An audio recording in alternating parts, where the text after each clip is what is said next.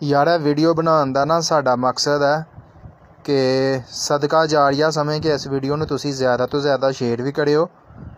ਅਤੇ ਸਿਆਲ ਤੁਹਾਨੂੰ ਪਤਾ ਹੈ ਕਿ ਆਉਣ ਵਾਲਾ ਹੈ ਅਤੇ ਇਹ ਵੇਖ ਸਕਦੇ ਹੋ ਤੁਸੀਂ ਕਿ ਪਤਾ ਹੀ ਨਹੀਂ ਚੱਲਦਾ ਪਿਆ ਕਿ ਵਿੱਚ ਸੱਪ ਬੈਠਾ ਹੋਇਆ ਜਾਂ ਨਹੀਂ ਬੈਠਾ ਦਾ।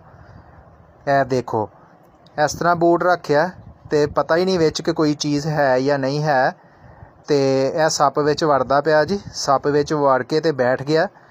ਅਤੇ ਤੁਹਾਨੂੰ ਪਤਾ ਹੈ ਕਿ ਸਿਆਲ ਆਉਣ ਵਾਲਾ ਆ। ਸਰਦੀਆਂ ਜਿਹੜੀਆਂ ਨੇ, ਉਹਨਾਂ ਦੀ ਆਮਦ ਸ਼ੁਰੂ ਹੋ ਗਈ ਹੈ। ਅਤੇ ਸਾਰੇ ਭਰਾ ਆਪਣੇ, ਅਗਰ ਤੁਸੀਂ ਪਹਿਲੇ ਪੁਰਾਣੇ ਸ਼ੂਜ਼ ਰੱਖੇ ਹੋਏ ਨੇ, ਆਪਣੇ ਘਰਾਂ ਦੇ ਵਿੱਚ ਬੂਟ ਰੱਖੇ ਦੇ ਨੇ ਅਤੇ ਜਦੋਂ ਵੀ ਉਹਨੂੰ ਇਸਤੇਮਾਲ ਕਰੋ ਉਹਨਾਂ ਨੂੰ ਪਾਉਣ ਤੋਂ ਪਹਿਲੇ ਉਹਨਾਂ ਨੂੰ ਝਾੜ ਲਓ। ਇਹ ਦੇਖੋ ਜੀ, ਸੱਪ ਵਿੱਚ ਵੜਦਾ ਪਿਆ। ਅਤੇ ਜਦੋਂ ਵਿੱਚ ਵੜ ਜਾਏਗਾ, ਤਾਂ ਪਤਾ ਹੀ ਨਹੀਂ ਚੱਲਦਾ ਕਿ ਵਿੱਚ ਬੈਠਾ ਹੋਇਆ ਹੈ, ਕੋਈ ਚੀਜ਼ ਕਿ ਨਹੀਂ ਬੈਠੀ ਹੋਈ।